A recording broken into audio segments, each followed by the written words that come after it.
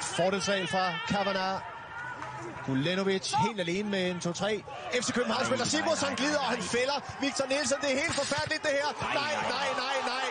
Det er et uhyggeligt, bizart selvmål, det her. Peter Andersen, uheldig,